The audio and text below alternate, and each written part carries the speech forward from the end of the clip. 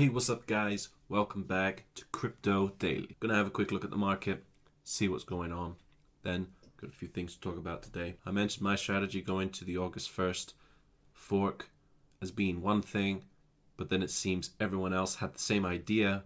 So, I'm gonna need to change my plans, and I'm gonna talk to you about what I plan to do for the August 1st fork. Is ViaBTC the group behind Bitcoin Cash. Down a little bit, but generally up since some of the lows that we saw yesterday. Now, it was really interesting to see this happening because, uh, at least with Bitcoin's price, during the night it seems to go up, during the day it seems to come down, and it depends where on where on, on the earth that you live. Generally, let's say when the Americans are waking up, Bitcoin comes down, and when let's say the Chinese are waking up, Koreans, Japanese, Bitcoin price goes up and that's fairly predictable. It, it always seems to happen that way. Generally, it's not surprising to wake up and see a day full of red on the weekend. When people have more time to, I guess, manage their assets on a weekend when they're not working, that generally tends to mean more selling, which I guess is a little strange. There might be another reason for it, but there you go. It keeps happening every weekend. Litecoin below $40.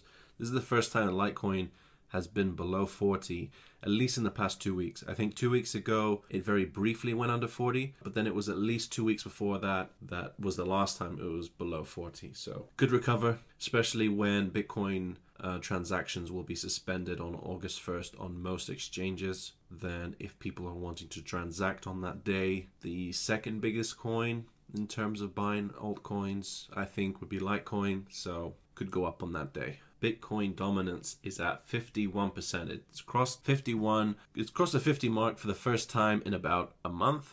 Is that right? It's, it fell to a new low last month of around 40%, and that's down from about 80% dominance in March. Now, if you're not sure what I mean about Bitcoin dominance, have a look at the total market cap today is $86 billion. That means that Bitcoin basically owns 51% of that money. All the rest of the money are, are in all the other coins. Now, from March, it was at 80%, and it's fallen to 40% last month, or a new low of 40%. But that doesn't mean that Bitcoin was steadily declining, it just meant that the altcoins were increasing in value faster than Bitcoin was. But Bitcoin back now to nearly 52%. I think this is because people want more Bitcoin Cash. Just like I mentioned, my strategy was to do that I wanted to move my altcoins into Bitcoin so I could get some more free Bitcoin Cash on August 1st, but everyone else seems to want to do the same thing. So there are some great deals. I mean, just have a look at the market. Everything's on sale. Now, I'm not going to tell you which coins I think you should buy. I will tell you what I've been doing, but please it's not financial advice. Don't sue me. I'm not a financial advisor, blah, blah, blah. I personally have bought some Factom yesterday. I bought it at around $16. Thought that was a great price. I like Factom. I think it's a really, really, really boring project if you read about it, but it has great potential.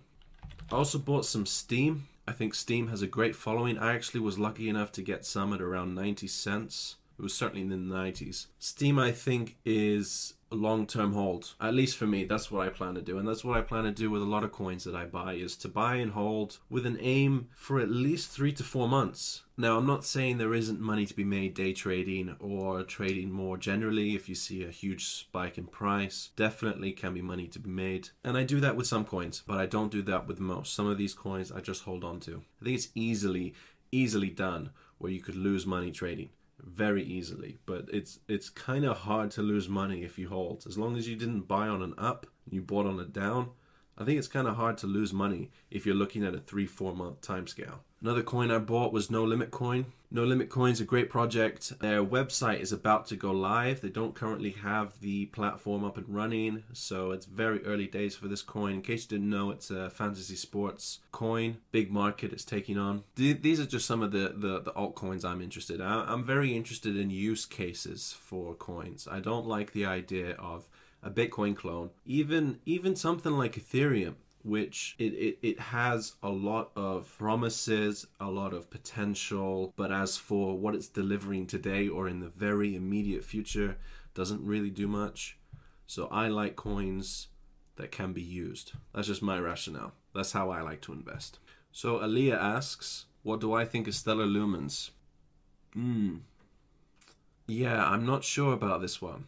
So you see this huge growth here. There's theories that this was a pump and dump and it was a targeted one as well because it had DDoS attacks on exchanges at the time so that they could basically very maliciously pump up the price and dump. This kind of growth here very quickly corrected itself. It's probably still on the down for the moment, but who knows where it could go. I think uh, so. Stellar Lumens it it has a uh, good idea, but it's not the first one to do it. it. It's actually made by the same developers as Ripple, who, if you didn't know, plan to facilitate banks transferring currencies, multi-currency transfers, basically the idea for the banks is if they were to use a cryptocurrency, for example, Ripple or Lumens, they could use in a blockchain cut costs, which is billions uh, of operating costs a year. So it, it has a really good idea. It has a good use case. It's one of those that I like.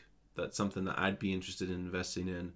The only problem with with Stellar is it's not the first to do it, and I think for the moment it it's on a down or sideways, at least until some news comes out. I think if they announce that uh, we've got five banks that have signed on with us that want to use us, then we're not really going to see any growth news just seems to keep coming out about Ripple and the banks that are signing up with it. I mean, just in my country alone, in the UK, Santander, which is a huge bank, is is using it. The Bank of England recently made a statement saying they were testing it, and those caused big price increase for Ripple. We'd need something like that for Stellar. That's the thing. There's a saying that says you trade the rumors and you sell the news. So it's kind of like a gamble, right? If you buy after the news, it's kind of too late, and it, you would need to be in there before. In order to make money, you have to take a gamble. It's probably not a gamble I'd like to take simply because it's not the first to do it, and we've seen how important it is that you're the first. I mean, let's have a look. Litecoin is faster than Bitcoin. NEM is faster than Bitcoin. Dash is much faster than Bitcoin. IOTA, much faster, much cheaper, free actually. And the list goes on there's so many coins that do what Bitcoin does but better, but because they weren't the first, they're nowhere near. That doesn't mean that there isn't still money to be made with the other ones, but I kind of like betting on winners, or at least trying to. So, a Bitcoin exchange in Sweden has said they will track what the market considers to be Bitcoin following the fork on Tuesday, which I think is kind of a silly thing to do. Obviously, the market is going to follow what is referred to as Bitcoin and that's going to be what continues to be Bitcoin. The name is so important. Bitcoin Cash won't overtake it, at least in the midterm, because it's not the original. Even though the design is more original than Bitcoin, it's kind of a silly situation. But there's a caveat there. If the SegWit 2x plan does not go into full effect, and by that I mean we know that SegWit's locking in, it's nearly there about 2,000 more blocks to, to mine, and then it's active. If they fail to go through with the 2x part, which is the doubling of the block size limit from 1 to 2 megabytes, I think November 1st is when that's due. If they don't go ahead with that, then I can see a huge amount of support going to Bitcoin Cash because they plan to increase the block size limit from 1 to 8 immediately. You know, that's their kind of unique selling point. So they have to do that. Bitcoin.com has gone as far as to say it will support Bitcoin Cash if it does that.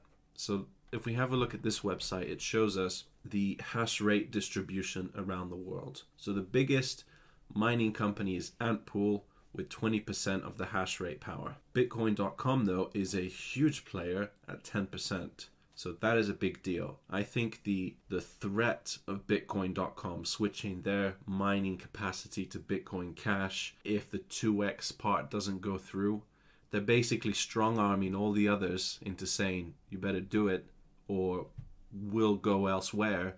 I think that threat is enough to make sure that the 2x part of the upgrade goes through. But yeah, there's definitely the thought that it might not because miners are more incentivized to have slower transactions, bigger fees, it makes more money for them. But Bitcoin currently is is slow and it's dying. And I, I don't mean in the sense of a financial sense. I just mean that it's slow, painfully slow to use right now, and it's just getting slower, so it's dying. We need a lot and I mean a lot of scalability improvements implemented into Bitcoin like last year. So, is ViaBTC the ones behind the Bitcoin Cash fork? They've been accused of being the ones, the Chinese, behind the whole movement. But they claim they are neutral in what's going on. So Haipo Yang, the CEO of ViaBTC, spoke with Coindesk and is quoted to say on whether they choose to mine Bitcoin Cash when it forks. It depends on the miners, it's their choice. They can choose to mine Bitcoin or Bitcoin Cash. We are just an exchange platform, we are neutral on this. So they're the ones being accused of being behind Bitcoin Cash hard fork and it kind of seems that way because they're also exchanging Bitcoin Cash futures on their exchange before the coins even exist. So it looks like they're they're pushing the movement, but in their defense, they stated that they plan to offer future coins for the Bitcoin Improvement Plan 148 when that was a potential of a fork as well. And in fact, they did, although the trading wasn't very good, as they say. So they're doing the same thing again. I can understand why they'd be accused of being the ones behind the Bitcoin Cash hard fork. They're actually stating that it's a, a Western invention and that they're not behind it, but there you go. Now, a lead developer named Calin Culianu, I'm sorry if I got that name wrong, contributing to the code of the development of Bitcoin Cash, has said that her secret gut feeling is that Bitcoin Cash may surprise all of us. It is not entirely possible that Bitcoin Cash will become the de facto Bitcoin coin after a few months. The much roomier 8 megabyte block size limit is very attractive. I could be wrong. I don't think that Bitcoin Cash will overtake BTC ever. I don't think it matters how much time. I think that if the 2x part of SegWit 2x doesn't go into effect, then we could see quite a bit of the market going to Bitcoin Cash but just the threat of that happening, I think, is enough to make sure that it does go through on November. But even if it doesn't go through, I do see somewhere, anywhere between 5 and 20% of Bitcoin's value in Bitcoin Cash's total. Anyway, guys, thank you for listening. I will see you in the next one. Peace.